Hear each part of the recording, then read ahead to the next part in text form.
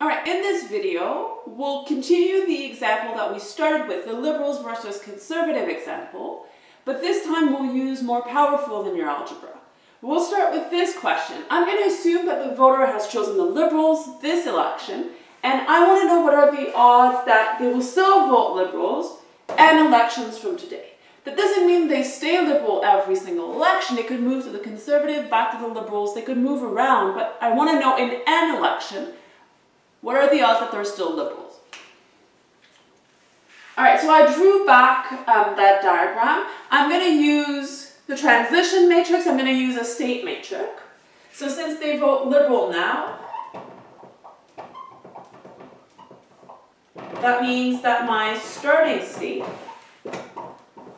will be 100% liberal. So I'm going to use liberal as the first state and I'm going to use conservative as the second. I need to, it doesn't matter which one you choose, but you have to be consistent. You have to use the same order for your state vector and for your matrix.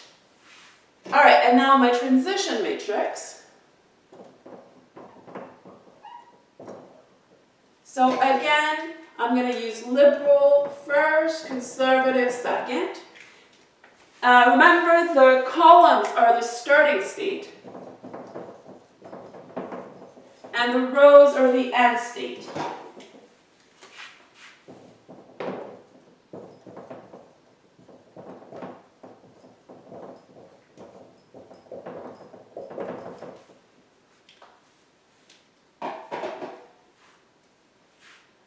So if I start liberal, I have an 85% chance of staying um, liberal, so I have this. Then if I'm liberal, I have a 15% chance uh, being conservative next time, so I end up with 0.15 here. Now, if I'm conservative, I have a 10% chance of being liberal and a 90% chance of being liberal next time.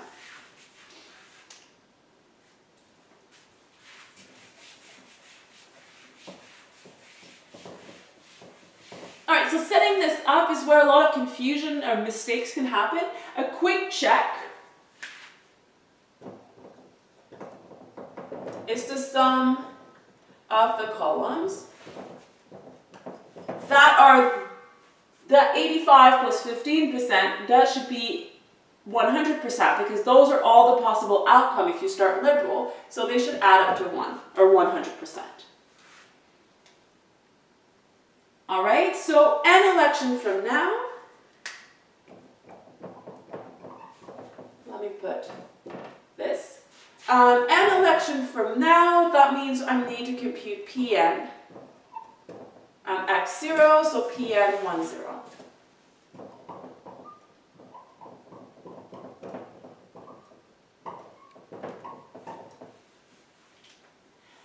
I don't have a specific n in this question. My answer will have n in it.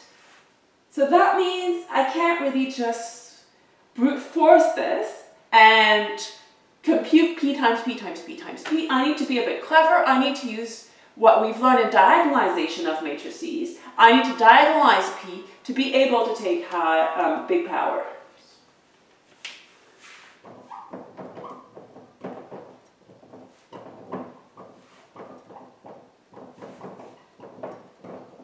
So one thing that's a bit unfortunate is in Markov chain is traditional to use a probability matrix, a transition matrix that's a bit p, and that's what we, linear algebra people use as a change of basis matrix. So this, I'm going to keep this one at p and I'll change the other one to another letter. So I'm going to diagonalize p, so I need to find the eigenvalues.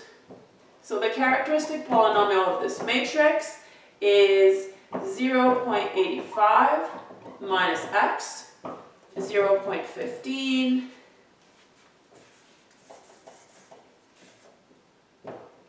I'm going to get 0 0.1 and 0 0.9 minus x.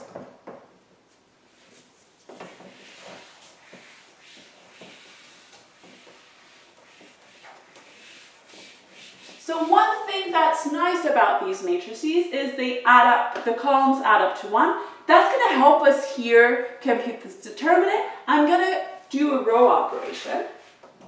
I'm going to do row 1 plus row 2, and I'm going to plug that back into row 1. Now this will work for 3 by 3, by for 4 by 4 matrices as well. If you add up every row to row 1, you should get something nice. In this case, I will get 1 minus x, and I will get 1 minus x. I haven't changed row 2, so let me put that back in.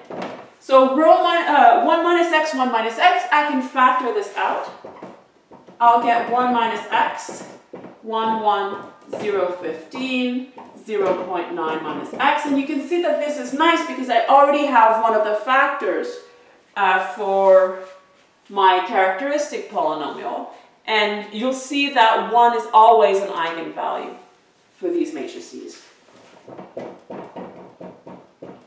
So I get 0.9 minus x minus 0.15. So I get 1 minus x, 0.75 minus x. So my eigenvalues are 1 and 0.75.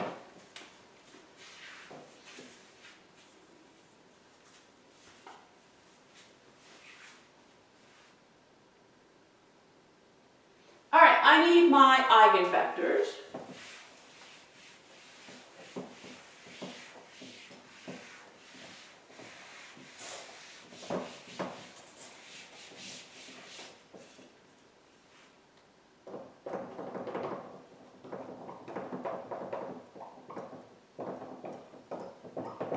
If I take lambda equals 1, uh, p minus i will be 0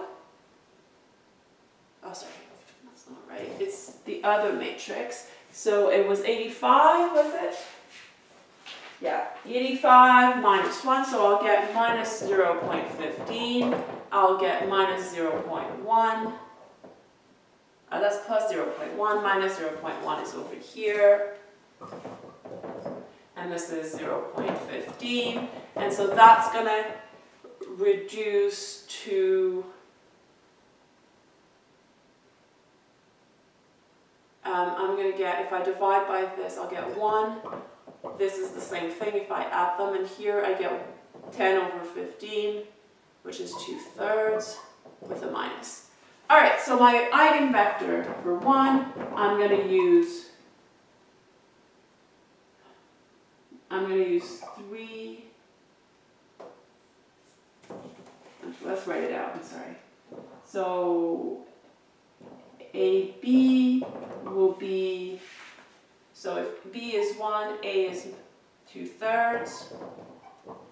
S, I'm going to take S equals 3, and so my first vector will be 2 and 3.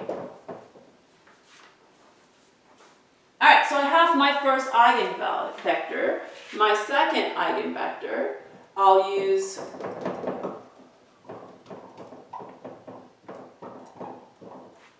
um, lambda equals 0.75, so p minus 0.75i, that will be 0.1, 0.1. I'll have 0.15, 0.15, that reduces to 1, 1. And so I'm going to take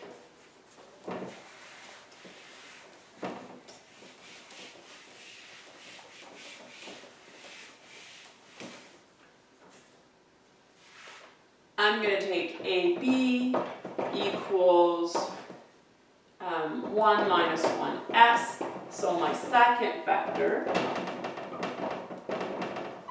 will be minus 1, 1. Let me double check that that's what I use. Yep.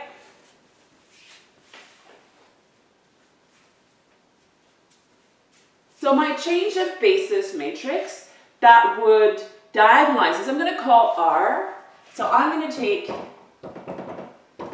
R to be 2, 3, minus 1, 1, and I'll have D, which is the two eigenvalues. So this vector has 1, this vector is 0 0.75, 0, 0.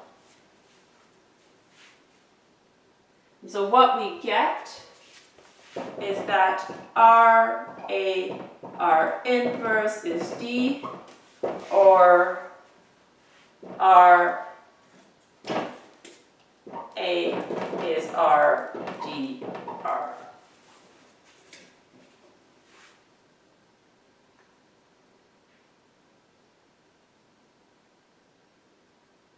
All right, now we're ready, sorry, RDR inverse. All right, now we're ready to take powers. So a to the n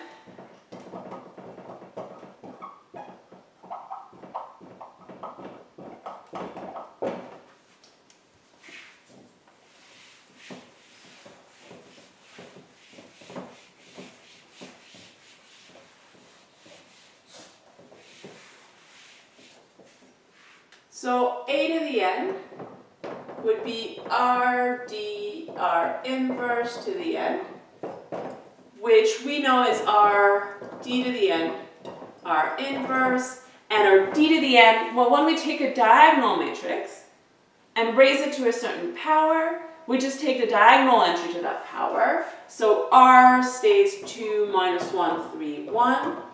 d to the n will be 1 to the n 0, 0, and 0.75 to the n. And our inverse, well, it's a 2 by 2, so it's not too bad. I get 2 minus, minus 3, so I get 1 over 5. And then I switch diagonal entries and flip the sign of the anti, of the, of the other two entries. And now I just have to take this product. Let me bring the 1 over 5 up front for now, and I'll have this is equal to 1, so 1, 1, minus 3 times 0 0.75 to the n, and then 2 times 0 0.75 to the n. All right, and Multiply it again. I'll get 2 plus 3 times 0 0.75 to the n. And I'll get 2 minus 2 times 0 0.75 to the n.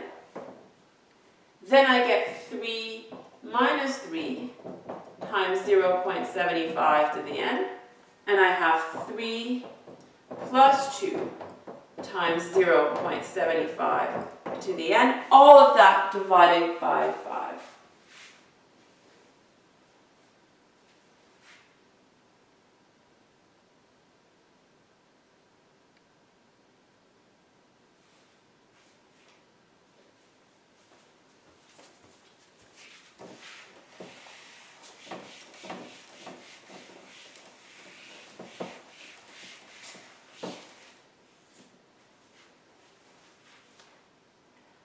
So now that I have, oh, it was not A to the n, it was P to the n. Sorry, habit. So it's P to the n. Now that I have my transition matrix to the n, I can compute my nth.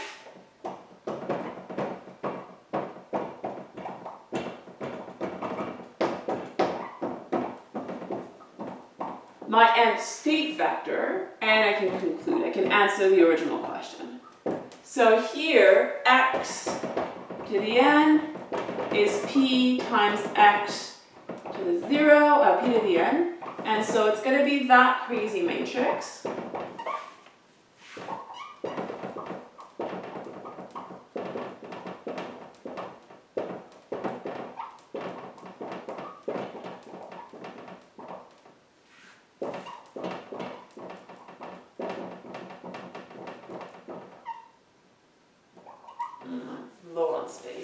Hmm.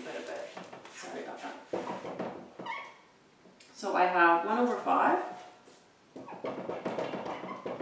2 plus 3 times 0 0.75 to the n.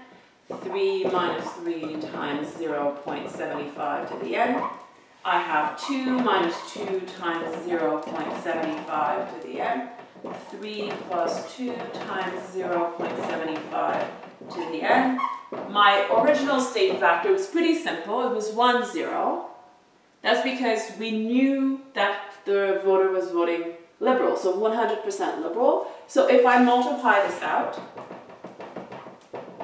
I'm going to get just the first column, so 2 plus 3, 0.75 to the n.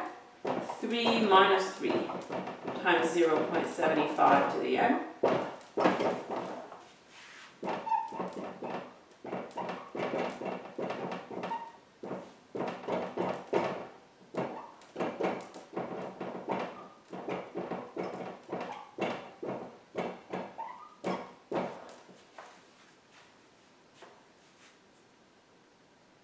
This vector includes the probability of the voter voting liberals in an election and conservative. We were only asked for one of those two. So from this vector,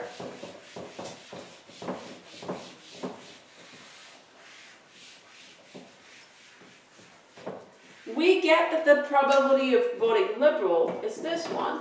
This is the probability of conservative, so the odds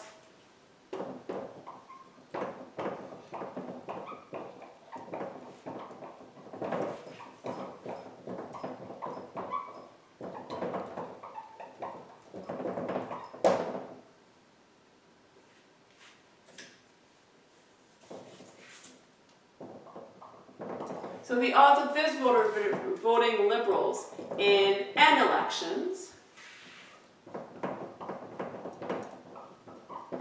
is 2 plus 3 times 0.75 to the N over